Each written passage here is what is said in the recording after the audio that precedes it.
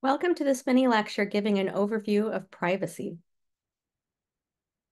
Now we have four course objectives in our class, and you notice that the word privacy appears in all of them. And so now it seems time to give you an overview of this really important concept. Some concepts from our usable security modules will also apply to privacy, but the addition is now we must address subjective norms. So for instance, with Norman's gulfs of evaluation and execution, when we think about goals, for instance, these might be influenced by social, cultural, and societal norms, or even be the primary goal we might be trying to match up. With human-centered design as well, for privacy, it's really important, for instance, with the first couple stages, that we're also trying to document and incorporate social, cultural, and societal norms of privacy. And finally, with the usability plus the CIA model, which I indicated will lead to a much more secure system, we also want to think about usability as well as confidentiality and availability and the dimensions of privacy and social, cultural, and societal norms. For instance, what does constitute confidential? How do people think about availability? And even what's satisfying, what's effective, what's efficient? Here are some privacy theories and frameworks that help us to frame these observations, contemplate research, and design some nice tools and interfaces that will help boost privacy. For instance, we should consider the historical law context. In the US, the right to privacy goes back to Warren and Brandeis in 1890. They wrote an article that summarized the idea that we all have a right to be left alone. This led to some important US legal privacy principles. For instance, to protect the privacy of individuals against intrusive government agents, to restrict access to intimate, sensitive, or confidential information, and to curtail intrusions into spaces or spheres deemed private or personal. Now, in the 1960s, Alan Westin, a modern legal and policy scholar, noted that no definition of privacy is possible because privacy issues are fundamentally matters of values, interests, and power. His book, Privacy and Freedom, described privacy as control.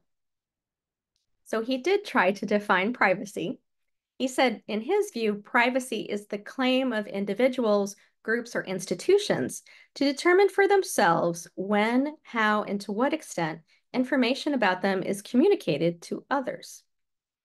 So in his view, each individual is continually engaged in a personal adjustment process in which he or she balances the desire for privacy with the desire for disclosure and communication. Now, I often hear it expressed, and maybe I've also been guilty of saying this, that security is easy, privacy is a challenge. But when we talk about privacy, we have to think about what type. So for instance, data privacy is managing a lot of different imperatives, um, for instance, with the Fair Information Practice Principles, which are summarized here and in the document that is shown at the right.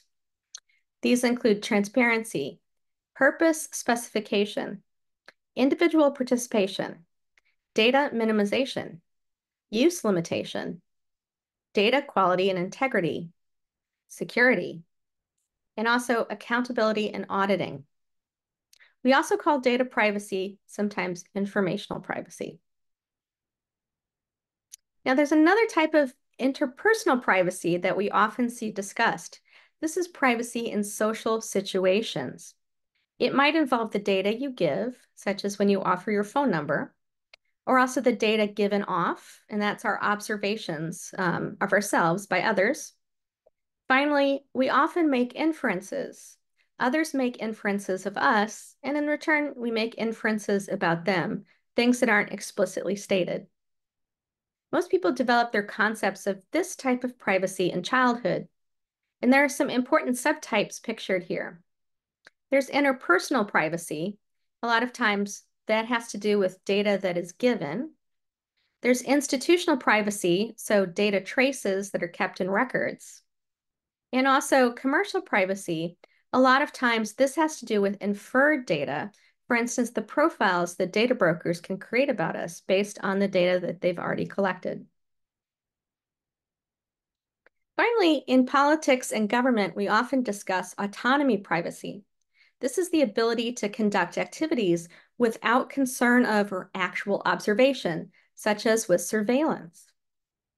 And in a way, this is partly why research, as defined under US law, requires oversight, because it sometimes involves us negotiating these issues of autonomy privacy.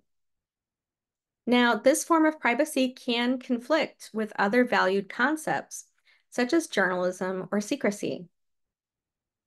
Now here too, on the right, I've reproduced a graphic from the University of California, which tries to give a, an idea of how these different types of privacy might overlap. For instance, information security covers quite a few ideas in this graphic, but it's also nesting in there is information privacy. So you see represented here that security sometimes is foundational for privacy. There's also this idea overall of autonomy privacy towards the right side of the graphic. And also nested within it is information privacy. So when you think about privacy, if you want to make the best impact, sometimes focusing on information privacy might so-called give you the best bang for your buck. There's also a concept called the privacy paradox. This is when people's attitudes don't seem to match their behaviors. For instance, I have a graphic here from the Chen et al. 2021 study of Alipay users. That's a mobile payment app. A lot of people said, uh, for instance, they were very concerned about privacy, but they still visited apps, say, that might have violated their privacy or had very sketchy privacy policies. And this illustrates this privacy paradox where users say they are concerned about the collection and use of their personal information, and yet they are still willingly providing personal information, often for what seems like apparently very small rewards. Then we can consider the privacy calculus. In this theory, people are making a trade-off between losses and gains. Individuals weigh the expected loss of privacy against the potential gain of disclosure. And interestingly, some studies have shown that people are willing to pay for more privacy. Now, this privacy calculus is hard to determine and measure any type of gains from social interactions, even if we feel them. And also, the concept of bounded rationality applies, as does other cognitive biases. So if you remember from our discussion earlier, bounded rationality is the idea that we, when we reason about a decision, our reasoning is bounded by the limitations of what we can know. We don't have perfect information, say, about the losses and the gains. The diagram here, though, shows when we can make an attempt at measuring certain concepts we think are important here, sometimes statistically we can determine whether or not the hypotheses we have derived from a theory like this could be supported by, say, a survey. And also there's an important theory called privacy regulation. This was created by Irwin Altman in 1975. In their view, there's a temporal dynamic process of boundary negotiation that distinguishes privacy and publicity according to the circumstance.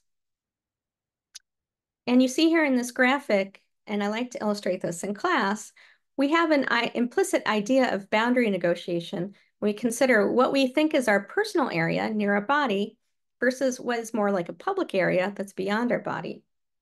This is different for different people and even across different cultures according to different studies. But in this graphic, you're seeing somebody holding out their arms and defining their personal area that way. We can also use our boundary negotiation in some ways to indicate our openness to social interaction, such as when we step closer. And we can use other types of techniques to indicate openness versus closeness, such as how we use our doors and walls, how we stand, and how we make eye contact. Now, there's this idea of privacy too is contextual integrity. I apologize, it looks like we can't watch the video that's embedded on the screen. But this idea is conceived by Helen Nissenbaum in 2004, and she's published quite a bit and has videos that you can search for. I like this theory of privacy quite a bit because I find it very useful in the context of usable privacy and security. Information sharing under this theory is governed by the social norms of a different of a given context. The norms of appropriateness, what information about persons is appropriate to reveal in a context, and the norms of distribution, movement of information from one party to another. You should remember both these norms. Privacy problems occur when information appropriate for one context is inappropriately shared in another. Online, users must judge context from perceived information flows, and that some examples of that might be streaming videos in public places, posting party photos on social media, and I'm sure you can also think of some things that have happened to you online or that you've interacted with that maybe would invoke whether or not you're complying and conforming to these norms.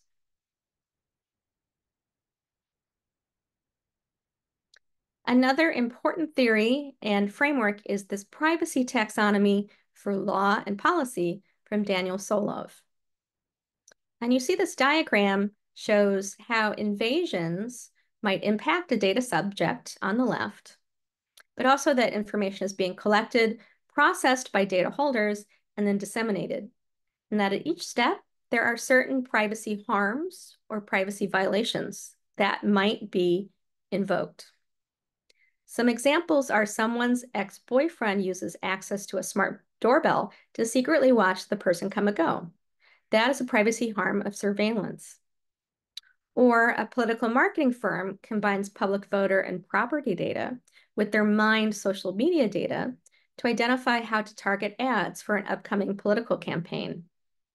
Those are the concepts of aggregation and secondary use, which maybe is not quite a harm, but involves privacy questions at the least. Or a company markets a list of 5 million elderly incontinent women. That is potentially a privacy violation from disclosure. Or a hacker accesses someone's baby cam and sings creepy songs. That's not theoretical. That's actually happened. That's a privacy harm from intrusion. Change the defaults on your smart devices and sensors at home. Now, how do people manage privacy? Sometimes it's through our consumer choices, which project products we buy, sites we use, and apps we download. We'll talk a little bit about how we're trying to help people make those choices more intelligently. We can also create privacy enhancing technologies, shortcut is PETs, such as new methods of authentication, encryption, and also anonymous browsing. The privacy settings too that you see on a social media site are part of how we help people manage their privacy, as are individual application interactions, such as the things you see to guide you when what you put things in a social media post or the information that you enter on a form. And also, we all know and talk about coping behaviors, such as staying away from cameras, taking off a smartwatch when we don't want to be tracked, and perhaps being cryptic in an email, which is recording things electronically. In my lab, for instance, back at Carnegie Mellon, we worked on an intervention we called SafeSee. And that was actually to help surface some of your privacy and security settings, which were often buried in menus deep in an application. And we also provided social signals to help you decide what you should pick as a setting. For instance, some survey data that we collected about what the majority of people like certain uh, users would think about as the right or correct setting for that default. Well, thank you for listening. I'll see you in class.